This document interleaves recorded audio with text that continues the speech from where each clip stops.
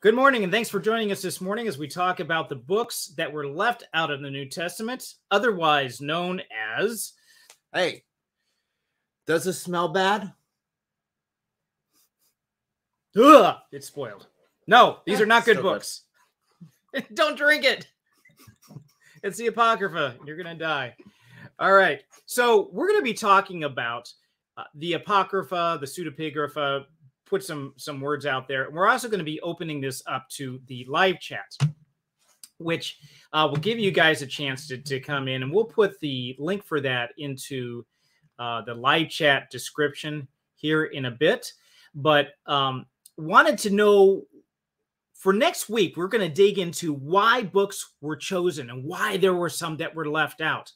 Well, we're going to talk about the ones that were left out this week to say, hey, what were these about? What were they?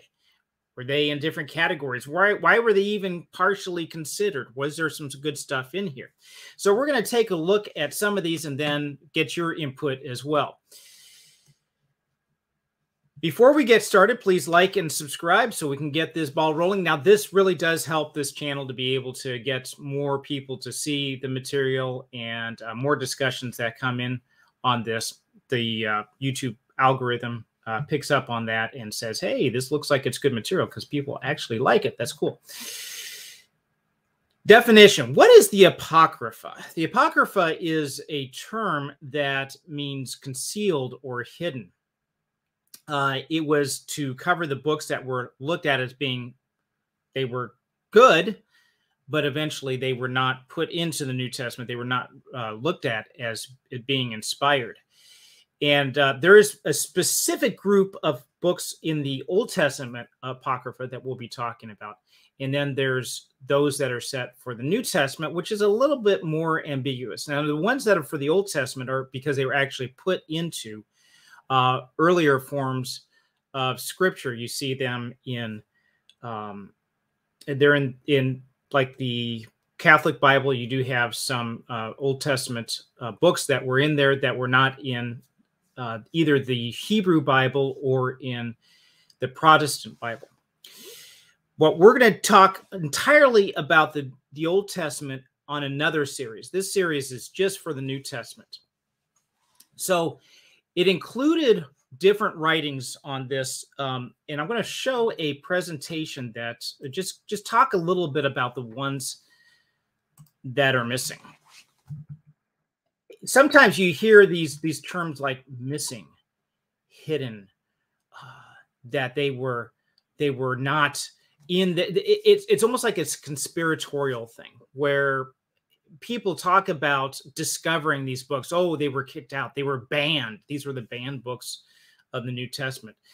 The problem with that is it makes you think that well maybe there was something else that was better, maybe something expanded on Christian theology that some old curmudgeons got together and decided that they weren't going to be including that because they didn't like it for a particular reason.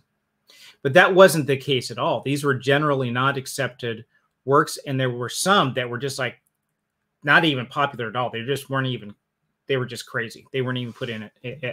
And those are the ones that uh, skeptics and those that would not, would uh, try to attack Christianity, those are the books that are generally used for for the attack. So we can kind of put these into two different categories. There is the apocrypha and the pseudepigrapha, and some of these names. I well, hey, I think if nothing else, they're just fun to say. So the books listed as the New Testament Apocrypha were those held in high esteem by at least one of the church fathers, although they contain helpful information concerning church, church history. They were never accepted into the New Testament canon. Some of these most popular writings uh, included the Shepherd of Hermas, First Clement, the Didache, the epistle of Polycarp to the Philippians, and the seven epistles of Ignatius and the epistle of Pseudo Barnabas. Now, this is not a complete list, this is just a partial list. What is what was the shepherd of Hermas about? Well, The Shepherd of Hermas was a book that was filled with visions and parables. It was popular in the early church, but not viewed as scripture. Uh, you can look at that like the purpose driven life today. It might have been, you know, at least it's not po- as, as popular as it was maybe 10 years ago. It would have been popular in the church. Now, you can imagine maybe 2,000 years from now, somebody doing some archaeological digging and they find the purpose driven life and they think, ah, why was this banned from the Bible? Are they trying to hide something? Is there something that the the the Christians are are trying to keep out of out of uh, the the true Word of God, trying to keep it out of Scripture? No, it was just around. It was something that was popular at the time. And then you can also look at the the shepherd of Clement. Uh, I'm sorry, the uh, first Clement. Now this was a letter written by the Church of Rome and sent to uh, the Church of Corinth. And what happened with the church in Corinth is they were there was basically kind of a little bit of a rebellion with the younger uh, people in the church kicking out the elders, and it caused a, a lot of problems. And Clement, who was an overseer or a bishop in Rome, he sent a letter to them to say, "Hey, let's let's not do this." And it was it was good in that it shows church history at the time, but it wasn't really considered scripture even in the early church. But some of the some of the early church fathers do quote it. Then you have the Didache. Now, the Didache was a book that was written very early on in about 100 AD. So it was right after the this, the New Testament books were written. So you would have had maybe Revelation was written in 90 AD, and then you have the Didache that was written shortly after that. And it was a basically a list of how to live a Christian life. It was not uh, filled with theology much at all. It was uh, a listing of how to practice Christianity for early believers. Uh, for example, it was it talked about baptism in doing that in the name of the Father, Son, and the Holy Spirit, which is interesting because that means that 100 AD we're already talking about the Trinity. Now, have, there's enough information about the Trinity in the Bible itself, but often there are attacks about the Trinity itself. Well, you you know you, you, that was something that came much later in the church it wasn't believed early on this is 10 years after revelation was written and we're guessing about some of these times plus or minus a few years but well within the early early early church we're talking about the trinity and baptism in the name of the father son and holy spirit Well, Jesus also talked about going and baptizing in the name of the Father, Son, and Holy Spirit Right. as well. So right yeah, that's a bit Yeah. a this this follows sticky wicket for those who try to claim that it's never in there. Jesus never talked about the Trinity. It's like, uh, no, he kind of made a commandment. now you might say okay modalism or different different ideas about how the the trinity is uh, functions and are the you know three persons or the three different entities that type of thing might be questioned here but it does mention these these three names at least without going too deep into into the doctrine of the trinity. No one contests the authorship of the didache. It not scholars today it's not like oh we're not really sure whether it it it, it was written during this time.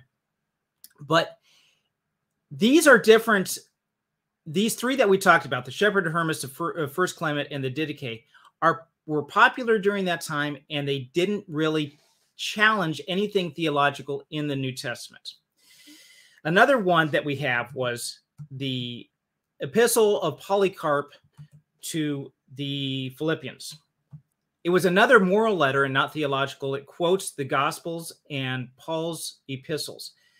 If this epistle does not talk about the virgin birth, does that mean that it was not really believed in the early church? Nope. So, yeah, that was kind of a strange reaction. No, it could be. It could be that it's just a known, commonly known thing.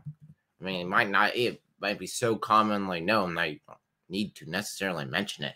Yeah, and you can imagine that all the different epistles or writings that even Paul had, uh, or James, the the book of James, it doesn't talk about a lot of things that are that brought forth in the, in the New Testament. It doesn't talk necessarily about the virgin birth itself. So does that mean that that was a contested item during the early church, or does that mean that it was um, not believed in the early church? And the answer would be no. That that just because the absence of any of this was done. But that was that's the accusation that some critics would say about the New Testament. They would point to this and say, "Oh, see, uh, we discovered some of these early documents, and they don't talk about these topics, and therefore these topics were in question." And that's not necessarily true.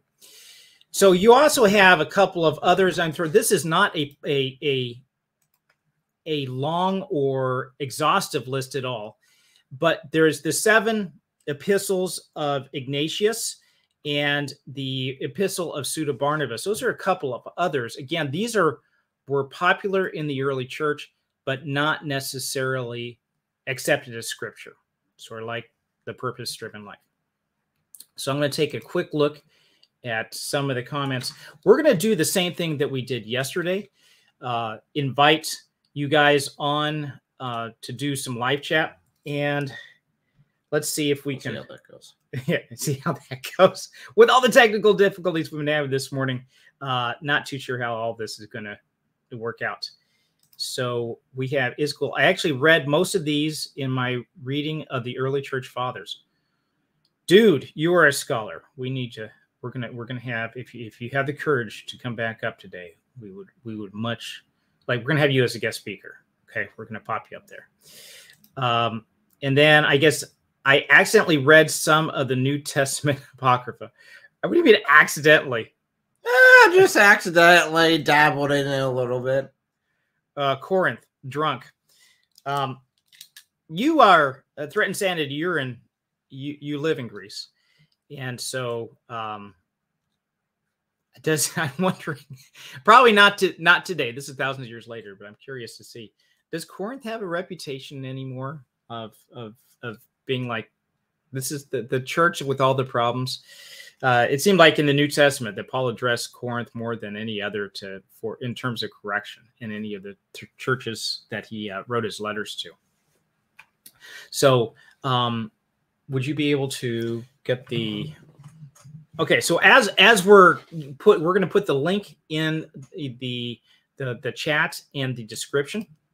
You can hit hide there and this will allow you guys to be able to uh, join us in our discussions. We're going to do live. That we did this yesterday, and it was to to good benefit.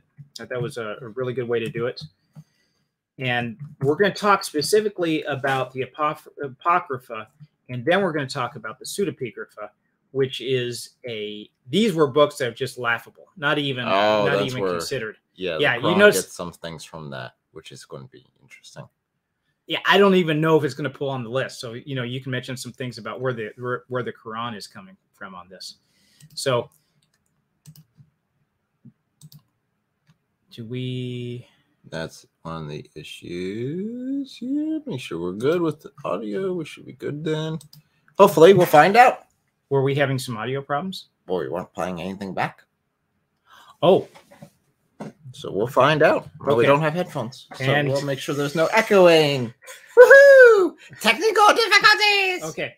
So, yeah, and if anybody wants to click that link, you should see it in the live chat uh, to join us, and uh, we can go from there. So, I was up You- way too late with my wife last night doing a live stream with David Wood.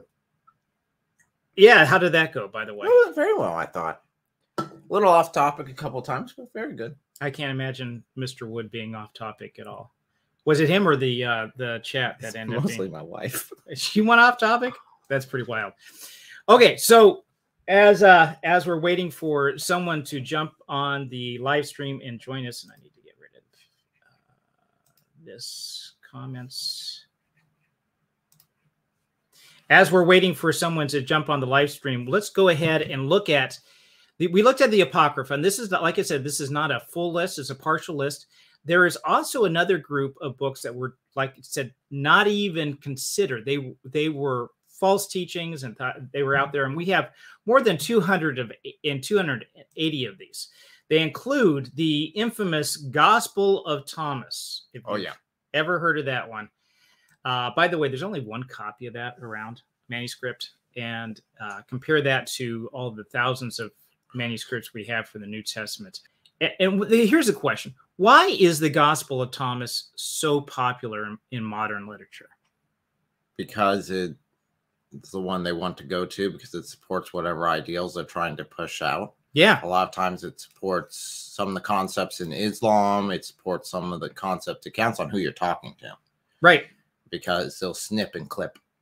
Just like they'll go to uh, Bart Ehrman Ah, for some of their definitely Muslims will run to Bart Ehrman for some of their stuff, but then like whenever it comes to the uh, death of Jesus, they're like, nah, he has no clue what he's talking about.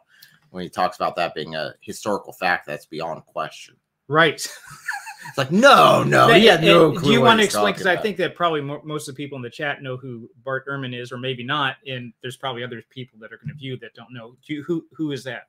Always one of the critics of Christianity. He he claims to have once been Christian, and he now he's not, and he's written multiple books that are just laughable about apparent contradictions in the Bible. Which again, if you understood the Bible at all, they're not at all. So um, I, I, I'm going to go ahead and put up a couple of comments. This is follow up from the earlier question about Corinth. Uh, she says the entire uh, Corinthians area is covered with vineyards till nowadays. Wow, that's interesting. So it used to, drunkards. well, I don't know about that, but it used to be used to be a city. Now, what's interesting about Corinth? A little side note on this, and talking about going off on a tangent. Uh, Corinth was a Roman city. City. It wasn't something that would have been back in Alexander the Great's day, and the reason was is if you can imagine. I don't know if I'm going to do this right with my hands. You have um, Greece that comes down, and then you have this this little bit of land that connects to the larger. It's got the three fingers uh, peninsulas that come down here. But in that little spot in between, both uh, both sides of the sea come up to one point, and they cut through it with um, commerce. It wasn't really a canal like you have in uh, the Panama Canal, where it narrows down between the two Americas enough that you can really create a canal and don't have to go all the way around. Well, this is the same concept. You don't have to go all the way around um, the peninsula because you can cut through on transportation. You unload boats on one one port, you move it across land, and you load boats on the other port. And I, I think the area where the peninsula was, it was treacherous water. So this really helped with commerce. And as a result, city grew up there practically overnight.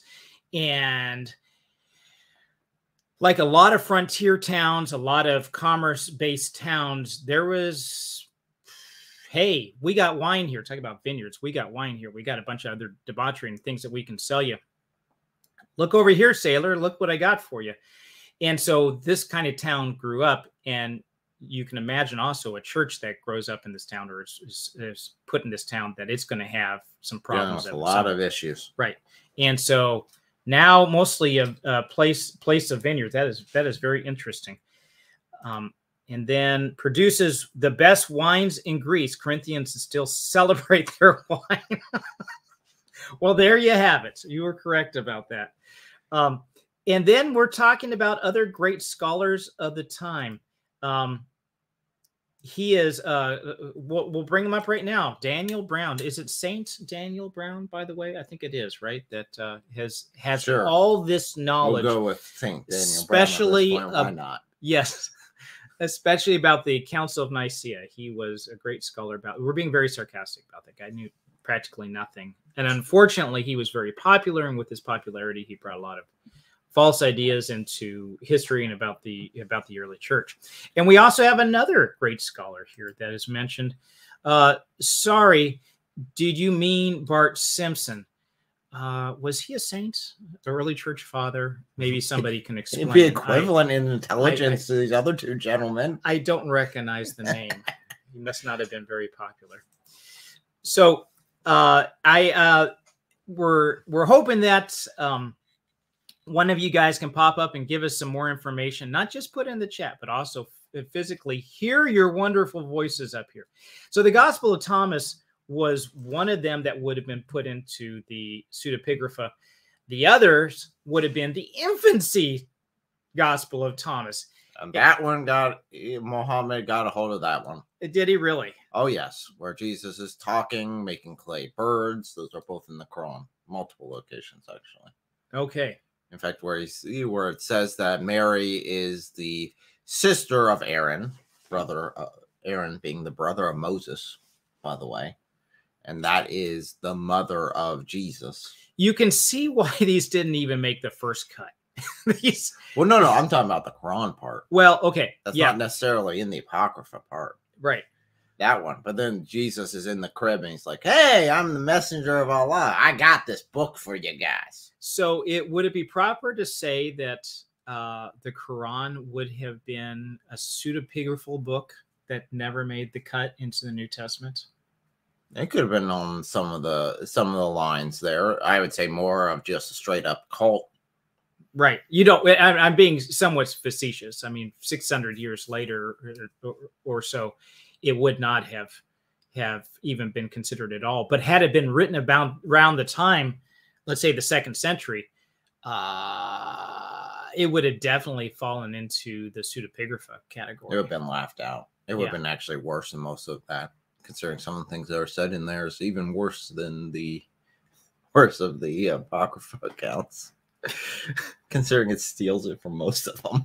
You have an example? Uh, what just the infancy gospels there. You have another one where um, during the birth of Jesus by Mary, she's there underneath a palm tree and she's strong enough to shake this palm tree and dates fall down, fresh dates fall down, and there's a spring that jumps up and it kind of sounds like Jesus is talking to her as he is being born, saying, Hey, you know, there's a spring down here. You know, eat the dates, drink the water, have a good time.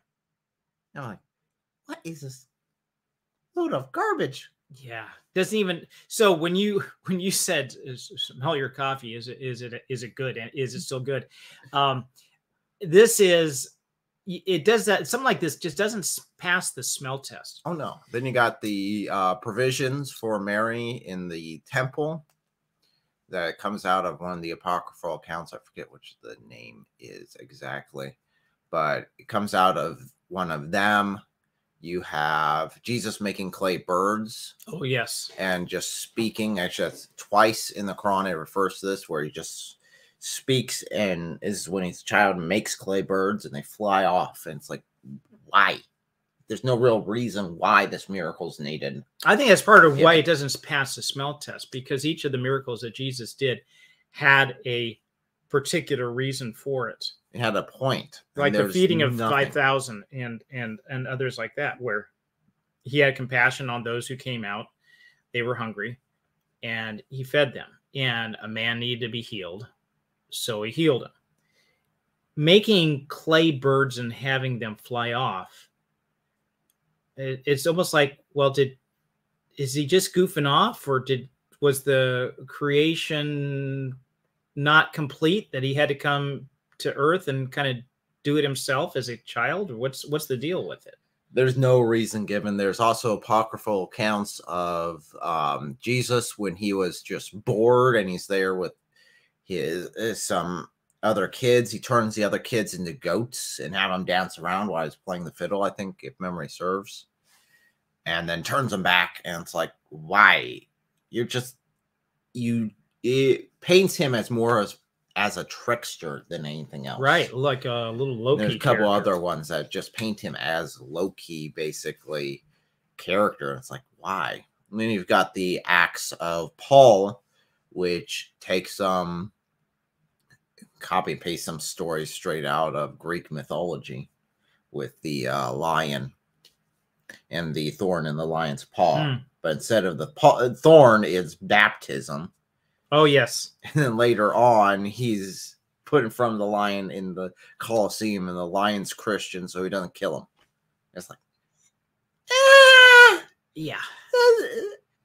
so I, I've heard, and I'm not sure if this is a true story or not, but I heard that one of the ways that um, we can test if dollar bills are currency is real or not is that you you take um, this is a government program. You take That's American people, dollars. American dollars, yes. Take take people into a room, and you're going to train them. They're going to be uh, currency experts and see if these are real. Now, I think that this is an older ma- way of doing it. You don't do this. You don't use this method anymore. I believe it's automated. But they would give people for two weeks real currency, and they would just count them. Get their their whole for eight hours a day. Just count count through all the all this money. Just boom, boom, boom, boom, boom, and then after the two weeks, not tell them, slip some counterfeits in there. So they're just counting, counting, counting, and they come to one say, "That's not right. Yeah, it doesn't feel right. Something, something's wrong with this one." And that is how I believe that some of these earlier manuscripts, some of these earlier works came up.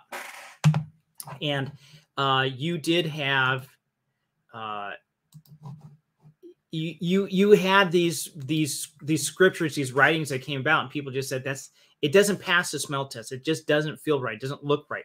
And the real scriptures rose in pos- uh, uh, popularity. These others just kind of faded. They never really uh, took hold, especially those in the the pseudepigrapha.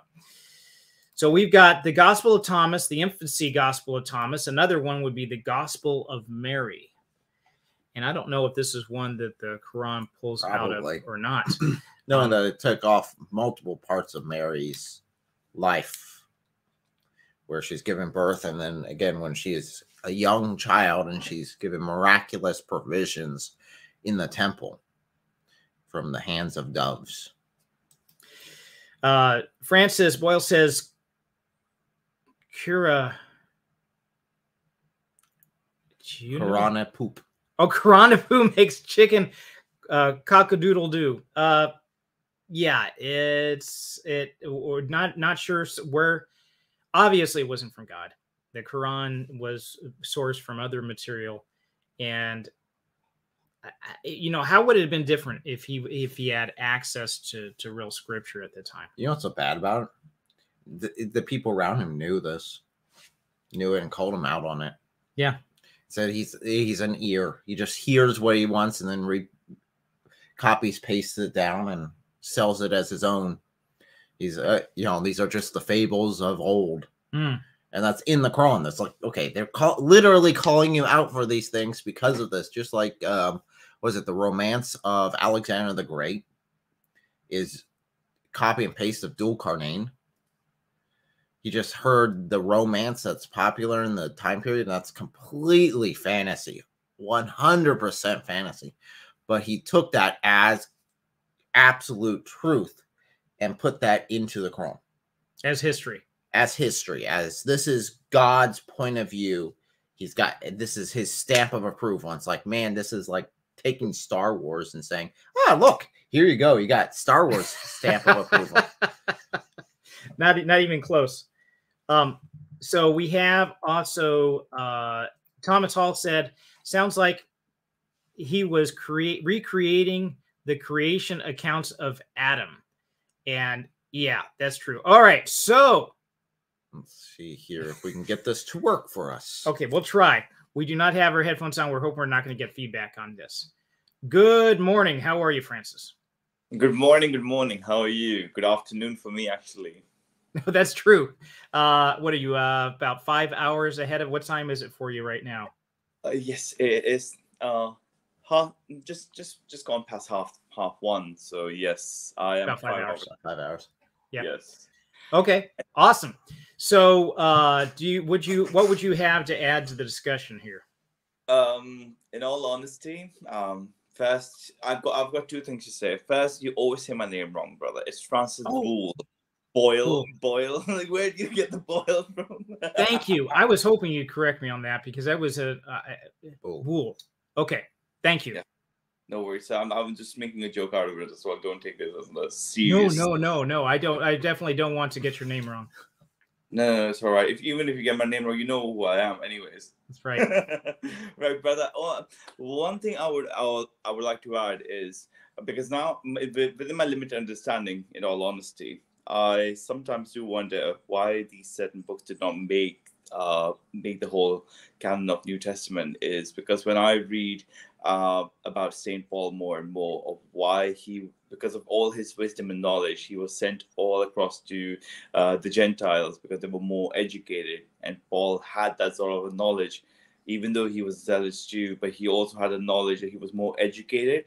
So maybe they conferred everything with Saint Paul's teachings, and they saw the uh, other side of the book and they said this is not really making the call here. This is not really actually uh, resembling what st paul would have taught uh, in alongside with you know with for the gentiles so in that context in that limited understanding of mine i do say that maybe this is the reason that these books did not uh, make the catch. And especially as for the other uh, you know like the gnostic gospels which is like gospel of thomas or infancy gospel of thomas. I've heard about these.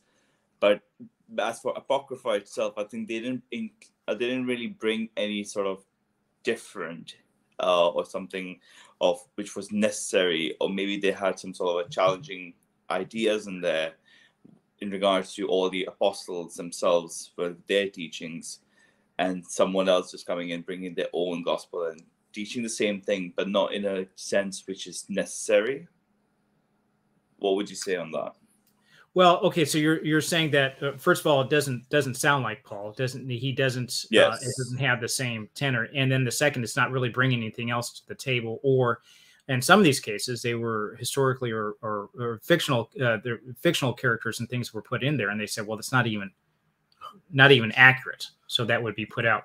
So there were um, we're going to be covering more of this next week but there were there were some rules that were kind of used there in general to say whether something would be included or not. Um, whether it was written by an apostle or ap- uh, somebody who's apostolic in ministry. So like the the gospels we have matthew and john. Those were two of the apostles uh, that were with jesus right? Yes. Well luke and mark were not but they were companions of Paul.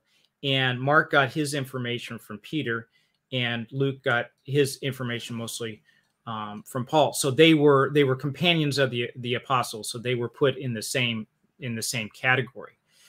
Um, then you have spiritual content. Does the content of the book provide spiritual edification for the believer? And this was a practical uh, test for it. I think that's partly what you were just saying with the content. Is that correct? Yes, yes, brother. Okay, so that was that was a consideration. The other was uh, uh doctrinal soundness. Is the content of the book doctrinally sound? Does it is it, any book that contained teachings contrary to what was already accepted and they were already canonical books? It would say, well, this isn't line up. It's it's out. So anything that contradicted and then usage the fourth one would have been usage. There was the book universally recognized throughout the early church and widely quoted by the church fathers. So you would have um, for example polycarp. You might quote uh, some or ignatius uh, uh, quote scripture and was this quoted by them and that was put in there as well. And the fine was the last one would have been something was divine inspiration. Does it give true evidence for um, divine inspiration? Does it look like God wrote this? Uh, this is kind of like a mysterious. How do you really gauge that type of thing? Uh, but this was the ultimate test. So everything else comes together. They're saying, "Hey, yeah, this this looks like it is unique and special, and it was inspired by God." There are definitely ones that stories that were taken from cultures that were put into some of the apocryphal accounts that mm-hmm. you could see why they were thrown out because there were known stories. They're like, no, this is this is just plagiarism. Right. You're just taking stories that are well known, rebranding them and putting them in here, trying to pass them off as Christian when they're really not. And that was grounds for them to throw it out. The Acts of Paul is one of those examples, which, again, if we look at the Quran, then it kind of did the same thing.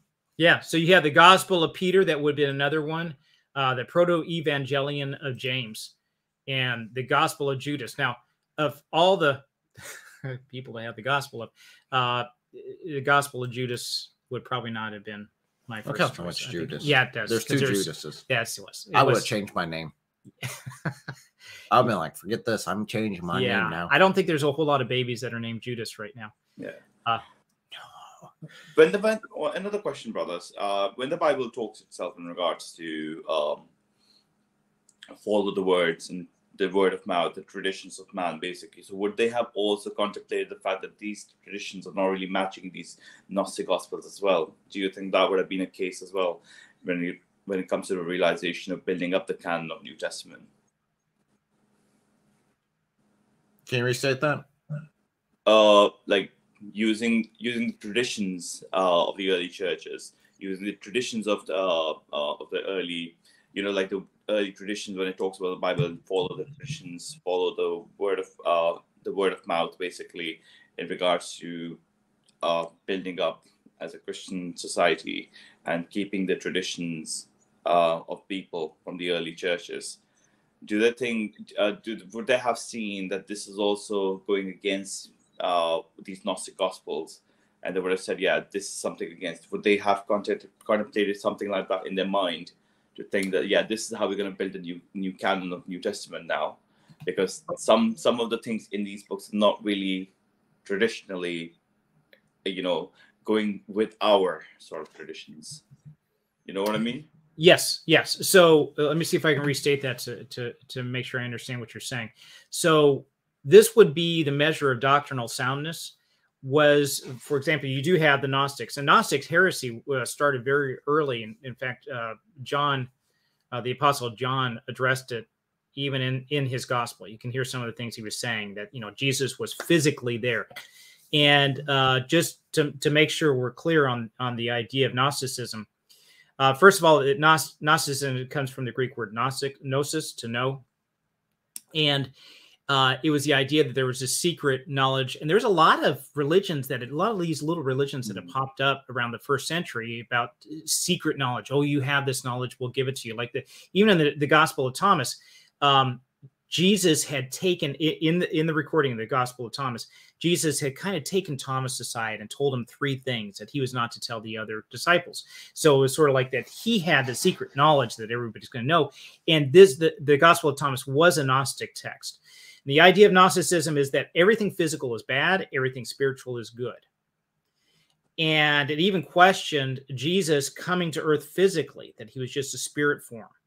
And he didn't obviously didn't die on the cross because he was not flesh. And so that's why john addresses says we we were there. We can testify that we touched him. We felt we we were we ate, we were with him at the time physically and so there's a lot of attestations to the fact that jesus had physical form he was he was fully human uh, as, as well as being fully god at the time too so that's why that's why you address so there was in terms of doctrinal soundness, there you can even see, I believe, some of the early church fathers are also talking about these heresies and say this does not line up at all. The Gospel of Thomas was not even considered at all to be a part of Scripture.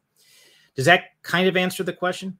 Yes, brother, it does. Uh, because at the end of the day, there was uh, I, like I, like I'm I'm studying a lot deeper in regards to theology uh, when it comes to the early churches and then going the uh, ecumenical councils and non-ecumenical councils. I'm reading all, I'm brushing up all on these sort of things, and when reading further and further, I'm trying to, I'm getting the realization, like at the very start, at the very beginning, there were so many different ideas people were taking out, uh, out of context, and they were like just preaching different, different knowledge, like Nestorianism, Arianism, predestinations, and everything, and I'm like, wow. At the very beginning, this could happen, and then we still are holding to the point where we are we still say okay we cannot uh, adhere to these ideas. So it's quite it's quite it's quite a it's quite a miracle in that way. I don't know how but we've still kept the early early sort of ideas that no we need to separate ourselves from these things these people and these things these sort of extreme ideologies which are corrupting the basic role of christianity or the or role of a christian person so thank you so much for that brother thank you for enlightening me in that no, that's all, that's all good. Very good. Yeah. So Well, uh, that was kind of the actual purpose of the Council of Nicaea. Was Yeah. to deal with some of these. A- Arianism was a big thing. right? yeah, yeah, Yeah. deal with some of these. Just they're popping up all the time. Okay, we just this is it, guys. Stop it. Well, it- and I also heard the accusation to say, well, Christianity is is obviously bunk because you had all these disparaging views even early on. And I would look at that and say, if anything, it attests the opposite because first of all, the enemy is going to want to come in and poison the the the soup as soon as possible. yes. And if you have something that's authentic, you're going to have to want you you will have people that will either want to copy and make it their own or uh, want to corrupt it. So the very fact that you have a lot of these heresies early on shows that shows the validity of Christianity, not the opposite. Amen. Absolutely. Brilliant, guys. Yeah. I'll let someone else come on. So thank you so Okay. much. Thank you, and Thank you, brother. and Love I'll try to talking get your you. name correct in the future. Uh, there's no Y in my name. Boyle, Boyle. I'm like egg boil. Fair enough. Fair enough. God bless, brothers. Have a good day. You Thank too. guys. Thank you. the back. Thank you. So I'm going to take a look at some of the other uh, live chats that are here. Um, so uh, Davos has joined uh, Davos, Davos, I should say, is cool. Uh, he has. I'm just going to throw a couple of these up. It was good to hear your thoughts yesterday. Yeah, that was uh, when when he had come up and threatened sanity exactly it's the bible we know about literally spiritually versus uh, physiological so uh, i think that we kind of covered the general output of or the the general view of these two different type of categories. We have the apocrypha on one side we have the pseudepigrapha on the other and these are not hard and fast. There's not really a strict division line between these two groupings. You have the first group that they were popular books, but not viewed as being scripture, and then you had the the the way far out there books, the pseudepigrapha, and of course, with skeptics today, those are the ones that they'll want to choose because they'll show contradictory theology uh, to to what is really scripture and so forth. So Oh, yeah. if if you want to attack Christianity, these are the books you're going to come out and say, haha, look, these were the ones that were stolen. These were the ones that were hidden from you. They were banned, they were pushed aside, but we discovered them and they're the real Christianity that the the organized Christianity wanted to to cover up. And that Well, was we did a very bad job on covering that up, yeah, considering we can find it yeah. pretty easily. That's true. So uh, there is a lot of that going on. So would you? Uh, is there any other comments that you wanted to, or any other things that you wanted to add to Oh, this? no, not too much. I think we've hit everything on it. Another part of the Quran that pulls it up is the seven sleepers. I forget which apocrypha account that was from, but again, it's just copy and pasted from the apocrypha account. What's what's the account of the seven sleepers? oh, where the seven sleepers, it's that these seven went to sleep, woke up, you know, hundreds years later, and then I forget what the actual count is. They came out of the cave and went from there. But that comes straight out again, straight out of the Apocrypha account. And it's like you just copied and pasted this. Uh, another thing that definitely Islam takes is not necessarily from the Apocrypha, but it's from uh, the monks of the age around where the uh, five daily prayers. And even the times that those five daily prayers are lines up with their prayers. And it's like uh these monks were doing it for 100 plus years before muhammad came around. Right. it's like ah, this looks like you just copied and pasted that too and that's one of the pillars of islam. This is right. a little important. Now you're taking the pillars just copy and paste it from from other sources. You're talking about like they had the canonical hours, vespers, and it, it would have been an evening and so forth. These different types of these different different ty- eh, types of prayers. They're actually listed out and you can even look at them. They have they this time they got up and prayed at this point and then they went and did their work and then they stopped and prayed at this point they went and did their work and they stopped and prayed at this point it's like that's islam Yes. Yeah. And they even marked the times of days based on these different prayer names, and they were called canonical hours. So yeah, that was uh, that was a, a point of Christianity, not necessarily Islam that that it assumed. Um, so I'm looking at some other comments and, and, making sure that we have. I think we pretty much covered this. We're prepped for uh, next week, which is is going to be. Oh, that's going to be a lot of fun. It's going to be fun. There's there's something special that we have planned with this to join us. It should be a lot of yeah, lot yeah. we're fun. we're preparing for this, and this is going to be. I'll give you a little bit of hints. The the Council of Absurdia is getting ready to gather, and uh, it's going to be it's going to be a fun experience. So also next week Next, we are going to review a movie that is a little more obscure, but I think it's worth taking a look at. And this is The Most Reluctant Convert. Ah. C.S. Lewis. About his experience, his conversion to Christianity, what was behind it? Why was why was he reluctant? And I would suggest this is it, it's a biography. It's wasn't something that was really big in the theaters at all, but it's really good. If you get a chance to get a copy of it, uh, we're going to have to, uh, I'm going to have to go for a DVD version of this. I have it on order, bringing it in, but I think it's going to be really good. We talked about C.S. Lewis and uh, J.R.R. Tolkien. He's in this as well.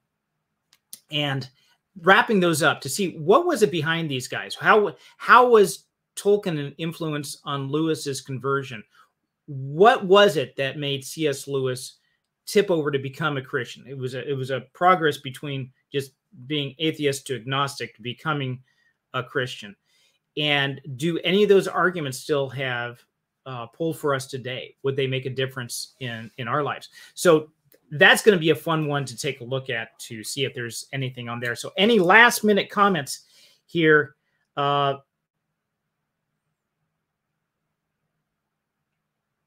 Dun, dun, dun. I think I think we have this one here. I'm reading it to make sure it's. I'm, I'm going to put it up, and then we'll take a look at it together. Islam claims this is Isaac Vanderwalt. Islam, Islam claims that the Bible is corrupt. If they say it appears in the Apocrypha, why don't they cite it as original? Uh, they don't claim that it appears in the Apocrypha. It just does. It's supposed to be the Quran is supposed to be just its own unique. It's supposed to be from Allah by himself. No one else can do what Allah has done here in the Quran. It is something completely just different and okay. different in every way, shape, or form. All these revelations are new. They're not taken from other sources. But then you look at these other sources, it's like, eh, no, no, it's not. Definitely, if you read the uh, romance of um, Alexander the Great, that one's almost there are sections in that that are almost word for word. And it's like, ah, you're definitely this is called plagiarism here. You're, you're just you're taking it. it. You're stealing it here. Right, right. Okay, so I think that wraps it up for us today. Thank you for the input. Thank you, Francis, for coming on. That was uh, good insights that you had. And we'll see you next week for C.S. Lewis and deeper into the Council of Absurdia.